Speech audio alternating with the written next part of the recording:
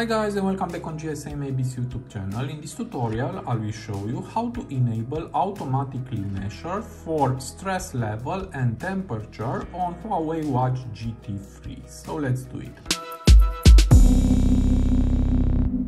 So here is my Huawei Watch GT3 and uh, as I told you before uh, we have uh, the uh, feature to measure the stress level and uh, the temperature and uh, if you want that these two features to be measured automatically uh, it is very easy. Uh, you need to go on your phone to Huawei Health app.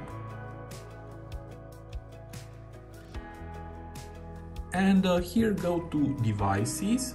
Just press on Huawei Watch GT3 and uh, now scroll down and we have here health monitoring and uh, as you can see now uh, it's enabled only continuous heart rate monitoring. And uh, from here you can enable automatic stress test.